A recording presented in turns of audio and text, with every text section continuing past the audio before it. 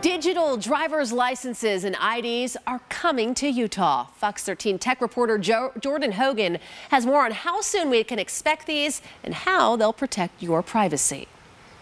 Utah's driver license division is set to start a pilot with mobile driver's licenses and IDs. The mobile IDs will be stored on an app which is being called Secure by the division's director, Chris Caras. We wanted to make sure the technology was at a place that it really could facilitate that level of security. And we believe that it's at that stage now. This will change the way Utahns travel, bank, buy alcohol, and comply with traffic stops. A big difference to the physical licenses or ID cards is you can choose what information you share. For example, the digital ID would let you verify your age without giving away your home address or vice versa. The mobile credential lets you facilitate the transaction, but only share what's necessary for it so that you get some control back over your data. Right now, it's being tested with 100 people to start, but the DLD hopes to open the pilot to as many as 10,000 Utahns